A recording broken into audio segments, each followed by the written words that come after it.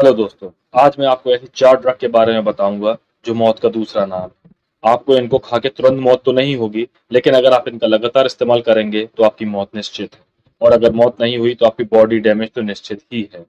तो शायद आप ये इस्तेमाल करते हो ये ड्रग और आप जानते भी होंगे इन ड्रग के बारे में। लेकिन अगर आप इसको इस्तेमाल करते हैं तो आप इनका इस्तेमाल तुरंत बंद कर दीजिए और अपनी डॉक्टर की सलाह लें। क्योंकि बिना डॉक्टर की सलाह के बगैर कोई भी दवाई आप ना लें, जिसमें नंबर वन पर आता है डिस्प्रिन और अगर अपन अपने गवर्नमेंट इंडियन गवर्नमेंट की माने तो ये 2015 में ही 11 अगस्त 2015 में ही इसको बैन कर दिया गया था डिस्प्लिन को दिल्ली गवर्नमेंट ने। लेकिन फिर भी उसके बाद ये इतनी ज़्यादा बिकती है और ये बहुत ज़्यादा मार्केट में मिलती है और ज़्यादा लोग इसका इस्तेमाल करते हैं। तो डिस्प्लिन क्यों नहीं लेनी चाहिए? मैं आपको इसका कारण भी बता देता हूँ। आपने अक्सर देखा होगा कि लोगों को ज़रा सा सर दर्द होता है और वो डिस्प्लिन खा लेते हैं। और ऐसा वो बार बार करते हैं, कई बार करते हैं। लेकिन उनको ये नहीं पता कि इसके कितने साइड इफ़ेक्ट होते हैं, क्योंकि एक्चुअली में जो डिस्प्लिन का काम होता है, वो होता है खून पतला करने का, और उस कारण से भी बहुत सारी समस्याएँ हो सकती हैं। तो अगर खुदा ना खास्ता कभी आपके धोखे से कोई इंजरी हो जाती है, इसको खाने के बाद तो वो खून रुकना बहुत मुश्किल हो जाता है। तो सबसे बड़ा कारण तो एक ये है, इसके अलावा ये आपके पेट में भी जलन पैदा करती है, आपकी किडनी फेलियर भी करा सकती है, और भी इसके कई कारण हैं जो बहुत ज़्यादा आपको नुकसान देते हैं। ये बाहर विदेशों में तो बैन है ही, इंडिया में भी इसको दिल्ली गवर्नमेंट ने बैन किया, लेकिन इसके बाद भी ये हर जगह मिलती है तो आप इसको इस्तेमाल ना करें। नंबर दो पर आती है डिकोल टोटल, और नंबर तीन पे विक्स एक्शन 500 ये दोनों ही ड्रग बैन है। अगर अपन डिकोल टोटल की बात करें तो 2016 में ही इसको गवर्नमेंट ने बैन कर दिया था, लेकिन फिर भी इसके बाद ये मार्केट में मिलती है।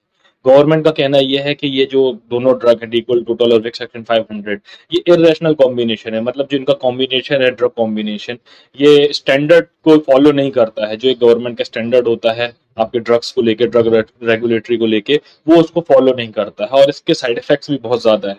क्योंकि कंपनी सिर्फ़ अपना बेनिफिट बनाना चाहती है। और उसको उसको पेशेंट से कोई लेना देना नहीं होता, वो खाए के ठीक हो रहा है या बीमार हो रहा है। लेकिन लोगों को तुरंत इसमें आराम मिलता है तो लोग इसको प्रेफर करते हैं।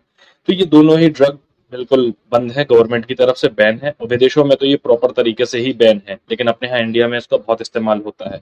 तो मैं आपसे यही कहना चाहूँगा कि आप डिकुल टोटल या वेक्सेशन फाइव हंड्रेड अगर लेते हैं सर्दी, जुकाम में तो आप इसको ना लें। इसकी जगह आप अपने डॉक्टर को दिखाएँ। डॉक्टर जो आपको दवाई दे, वो आप लें।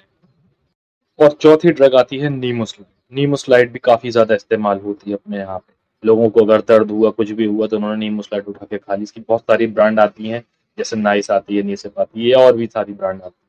तो मैं डॉक्टर सब लोगों से यही कहना चाहूँगा कि आप डॉक्टर की सलाह लें, ऐसे ड्रग को अपने साथ मत लें, ताकि आपकी बॉडी पे कोई इसका डिफेक्ट ना हो।